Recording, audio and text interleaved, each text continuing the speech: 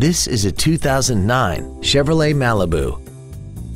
This car has a six-speed automatic transmission and an inline four-cylinder engine. All of the following features are included. Traction control and stability control systems, cruise control, full power accessories, side curtain airbags, a rear window defroster, tinted glass, dusk sensing headlights, an anti-lock braking system, speed sensitive wipers, and air conditioning. This vehicle is sure to sell fast. Call and arrange your test drive today. Thank you for viewing this video brought to you by the McGrath family of dealerships.